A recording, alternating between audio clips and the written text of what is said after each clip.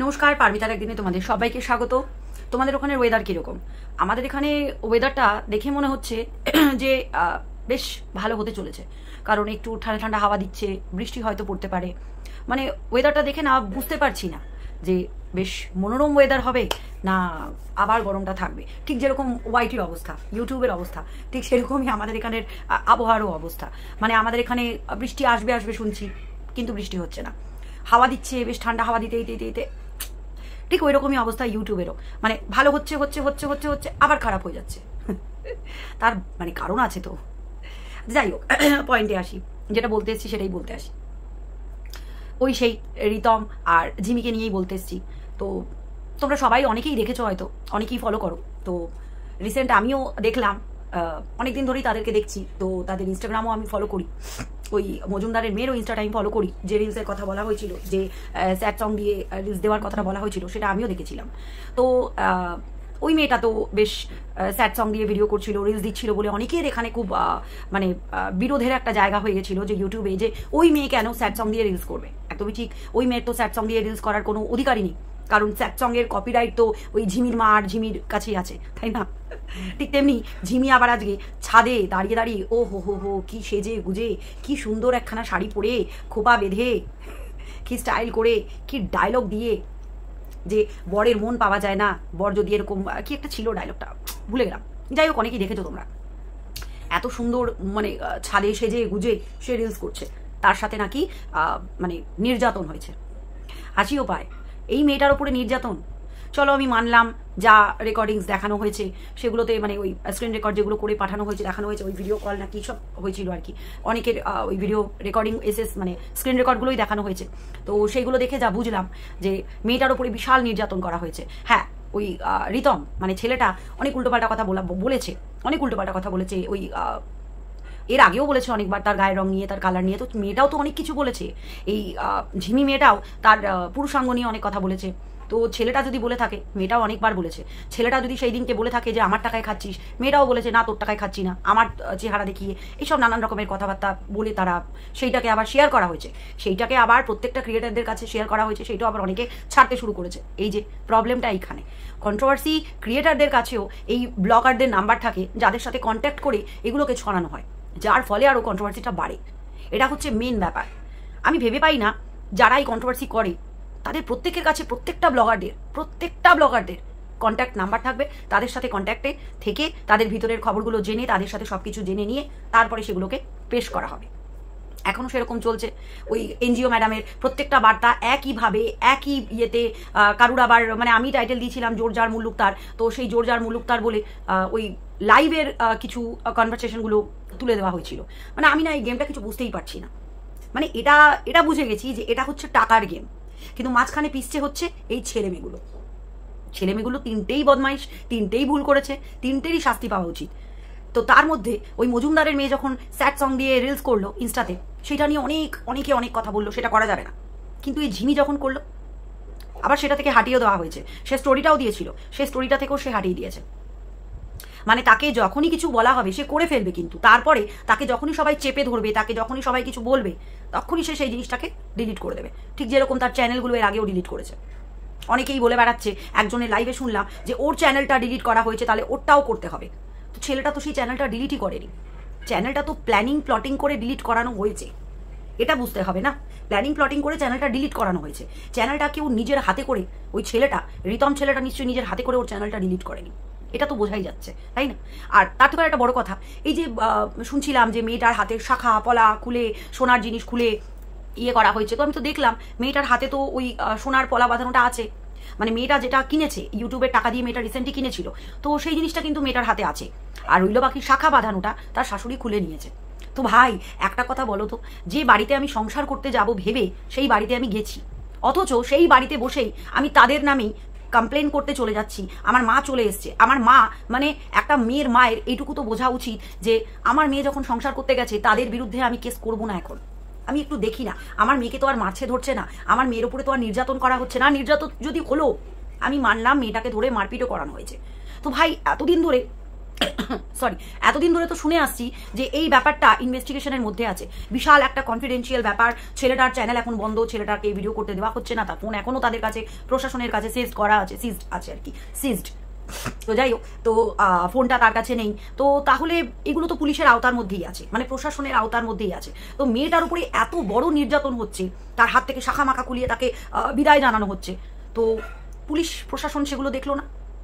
মানে কেস যখন করা হয়েছে, তাদের এই ব্যাপারগুলো নিয়ে যখন ইনভেস্টিগেশন চলছে, তাদের এই ব্যাপারগুলো নিয়ে যখন এত কিছু হচ্ছে হ্যাঁ মানে কি বলব, জল ভাত, নুন ভাত হয়ে গেছে তাদের ইয়েটা। তো সেইখানে সেই ফ্যামিলির উপরে কিছু করল না কেন প্রশাসন? প্রশাসনের তো দায়িত্ব ছিল সবার আগে যে, তার, সেই ছেলেটার নামে যখন এত বড় একটা কেস করা হয়েছে, তার বিশাল বড় একটা ব্যাপার, তো সেইখানে তো প্রশাসনের সবার আগে নির্যাতনের কেস দেওয়া উচিত ছিল। মনে হয় করা আছে ফোর নাইনটি এইটে করাই আছে। তো সেইখানে তো নির্যাতন চোখের সামনে হচ্ছে। তারপরেও কিছু হলো না। গল্পটা এখানেই। গল্পটা এখানেই। একতরফা কোনো কিছু হয় না। আমি মানলাম আমি মানলাম। অনেকের কাছে শুনেছি, দেখেছি, ওদের ভিডিও তো দেখেছি, এমন তো নয়। ওদেরকে নিয়ে কথা বলিনি বলে এমন নয় যে ওদের ভিডিওগুলো দেখতাম না। দেখেছি। হ্যাঁ খুব যখন ক্যাচাল হতো, সেই জিনিসই আমার ঢুকতে ইচ্ছে করে না, আমি করিনি বাট দেখতাম। তো সেই জায়গাতে আমি মানলাম যে ছেলেটার মা মানে ছেলে আর ছেলের বইয়ের মধ্যে খুব ইন্টারফেয়ার করে। সে সবসময় ছেলে আর ছেলের বউর মধ্যে ঢুকে থাকে। তো ঠিক সেরকম, মেয়েটার মাও তো তাই করে। মেয়েটার মাও তো তাই করে। একটা মেয়ে যখন, একটা মা যখন একটা মেয়ের সংসারের মধ্যে বেশি ঢুকে যায় না, সেই মেয়ের সংসার জীবনে হয় না। জীবনে হয় না, আর কোনো দিন হবে না। আর ওই মেয়ের সংসার সত্যিই কোনো দিন হবে না। ওই মজুমদারের মেয়ের সংসার হলেও হতে পারে। মেয়েটা যতই যাই বলুক, খারাপ হোক, আমি জানি না। আমি তাকে তো পার্সোনালি চিনি না, তার সাথে আমি কোনোদিন কথা বলিনি। আমার তো আর ওই কারোর সাথে কন্ট্যাক্টে আমি কারোর সাথে থাকি না। তো আমি জানি না এটা। কিন্তু মেয়েটা সংসার করতে পারবে। মেয়েটা লক্ষ্মীমন্ত মেয়ে। কিন্তু এই মেয়েটা মোটেও সংসার করতে পারবে না, লক্ষ্মীমন্ত মেয়েও নয়। তার কারণ, তার মধ্যে তো প্রভাবটা পড়ে আছে, তার বাপ মা যেগুলো করে রেখে এসছে, সেই প্রভাবগুলো তো পড়ে আছে। যার মা লাইভে বসে বলতে পারে যে, আমার মেয়ের ওপরে নজর ছিল। যেখানে এই কথাটা, এই মেয়েটাই ওই কৃষ্ণনগরের ওই সেবিকা, যাকে নিয়ে এখন আবার ওই দুনিয়ার রঙ্গ তামাশা চলছে। সেটা নিয়েও বলব একটু। তো দুনিয়ার রঙ্গ তামাশা চলছে।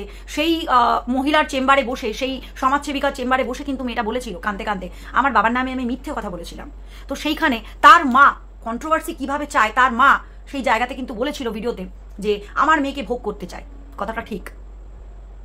এই হচ্ছে তাদের মানে বাবা মায়ের যদি এই অবস্থা হয়, তো তার মেয়ের কি করে কোনো সংসার হবে? এই কথাটাই তো এতদিন ধরে বলা হচ্ছিল যে এই মেয়েকে যতই ওই বাড়িতে জোর করে ঢুকিয়ে দাও না কেন তাদের সংসার হবে না। আর সব থেকে বড় কথা, এই তোমরা যারা এই ব্যাপারটাকে নিয়ে এই সাফাই কর্মী যাদেরকে বলা হচ্ছে, এই এনজিও ম্যাডামের যারা ডান হাত, বা হাত আরও যারা আছে, ঠিক আছে? তাদের সবার আগে কি উচিত জানো? এই কেস কাবারি, এই সব না করে না, তিনটে ছেলে মেয়ের তিনটে ফ্যামিলিকে নিয়ে না কাউন্সেলিং করানো উচিত। তোমাদের তিনটে ছেলেমেয়েকে নিয়ে বোঝানো উচিত।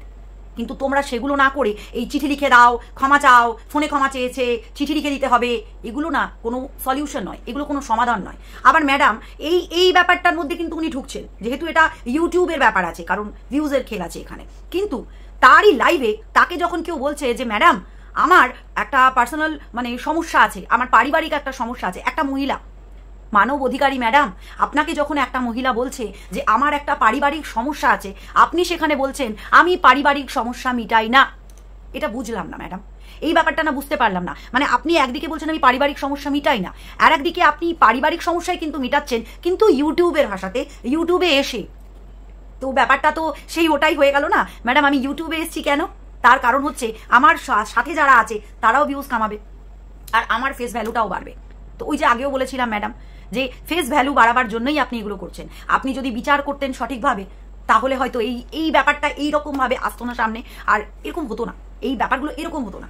এটা শুধুমাত্র আপনার জন্যই আপনার জন্যই এটা হয়েছে। কারণ আপনি যদি চাইতেন, পুরোটাই আপনার হাতে, প্রশাসন আপনার হাতে, আপনি নিজেই বলেছেন যে প্রশাসন আপনার হাতে ওতপ্রোতভাবে জড়িয়ে আছে আপনার সাথে। তো আপনি যদি চাইতেন, এইগুলোকে না প্রথম দিন বন্ধ করতে পারতেন যে এইগুলোকে নিয়ে কোনো ইউটিউব কেন কোনো সোশ্যাল প্ল্যাটফর্মে এগুলোকে নিয়ে কেচ্চা করা হবে না। বিক্রি করা হবে না। ভিউজের খেলা চলবে না। লাইভ ভিডিও শর্টস কোনো কিচ্ছু চলবে না। কিন্তু ম্যাডাম আপনি এগুলো করেননি। আজকে আপনি বলতে এসেছিলেন, দু দুবার আপনি বললেন যে এদেরকে নিয়ে কিছু করা যাবে না। কিন্তু কেউ কি শুনছে ম্যাডাম কেউ কি শুনছে? তাই ম্যাডাম আপনার কাছে না একটাই অনুরোধ একটাই অনুরোধ। না, আপনাকে আমি দিদি বলব, বোন তো বলবোই না, আপনার থেকে আমি ছোট। যদি আপনার ফর্টি থ্রি হয় তো আমার ফর্টি ওয়ান তো দু বছরের বড়। তবুও দিদিই বলব না, বোনও বলব না ম্যাডাম করেই বলছি আপনাকে। আপনি এগুলো না এখনও বন্ধ করেননি। এই এই ব্যাপারগুলোকে নিয়ে এই যে কেচ্ছা, তামাশা চলছে লাইভ চলছে এগুলো বন্ধ করুন এবার। এইবার এগুলো বন্ধ করুন। কেন? এখনও বন্ধ করা যাচ্ছে না। আপনারাই তো বলেছিলেন এগুলো বন্ধ করতে, কিন্তু বন্ধ আর হচ্ছে না। কারণ ওই যে ম্যাডাম, পারিবারিক সমস্যা আপনি মেটান না। কিন্তু ইউটিউবে এসে পারিবারিক সমস্যাটা আপনি মিটাতে এসছেন, পরিষ্কার করতে এসছেন সমাজটাকে। ইউটিউব সমাজটাকে পরিষ্কার করছেন এ কেমন পরিষ্কার একটু জানাবেন তো? একতরফা বিচার সত্যি হয়েই আসছে। হয়েই আসছে। ওদেরকে আপনারা বারণ করা সত্ত্বেও ওরা ভিডিও দিয়ে যাচ্ছে। ওরা লাইভ করছে, ওরা ভিডিও দিচ্ছে। আবার বকছেন যখন, তখন সেই ভিডিও ডিলিট হয়ে যাচ্ছে। ইনস্টাগ্রামে রিলসগুলো দিয়ে যাচ্ছে। আবার যখন কেউ দেখে সেটা নিয়ে কিছু বলছে, সেই ইনস্টাগ্রামে রিলসটাও গায়েব হয়ে যাচ্ছে। স্টোরিটাও গায়েব হয়ে যাচ্ছে। মানে ব্যাপারটা কি? একটু বুঝিয়ে বলবেন। মানে জানি আমার উত্তর দেওয়ার আপনি কে? আমি কে যে আপনি আমার উত্তর দেবেন? তাই না? তো তবু আমার ব্যক্তি স্বাধীনতা, আমার বাক স্বাধীনতার জন্য আমি এই কোশ্চেনটুকু আপনাকে করলাম। আমি জানি আপনার মুখে একদিন নামটা আমি শুধু শুনেছি। তো উত্তর দেবেন পারলে যে এটা কি হচ্ছে? এইটাকে নিয়ে যদি এতই কনফিডেন্সিয়াল ব্যাপার, তাহলে প্রত্যেকটা জিনিসকে না ক্যামেরার পেছনেই রাখা উচিত। সমাজ সেবা করতে হলে ক্যামেরার পেছনেই করতে হয়। সে পারিবারিক সমস্যা হোক, চাই সমাজের সেবা হোক, যে কোনো জিনিসই না ক্যামেরার পেছনে করতে হয়। ক্যামেরার সামনে যখন সেই জিনিসটা চলে আসে না, তো সেটা ভিউজেরই খেল হয়। বিশেষ করে ইউটিউবে ইউটিউবে সব কিছুই ভিউজেরই খেল। সে লাইভ হোক, আর ভিডিও হোক, আর কোনো কন্ট্রোভার্সি ক্রিয়েটারকে নিয়ে কিছু হোক, কিংবা কোনো বড় ব্লগারদের নিয়ে কিছু হোক। এখানে সব কিছুই ভিউজের খেল। আর সেটাই চলে এসছে। আর সেটাই হচ্ছে। তাই এই এই মানে এই অরাজকতাটা যে কবে বন্ধ হবে আমি বুঝতে পারছি না। আবার কিছু বললে, কেস। টাটা, সবাই ভালো থেকো, সুস্থ থেকো। আমার এই প্রশ্নগুলো থাকল ম্যাডামের জন্য। জানি না ম্যাডাম উত্তর দেবেন কিনা। আর যদি তোমাদের ভালো লাগে, তাহলে তোমরা কমেন্ট করো। ভালো থেকো সবাই।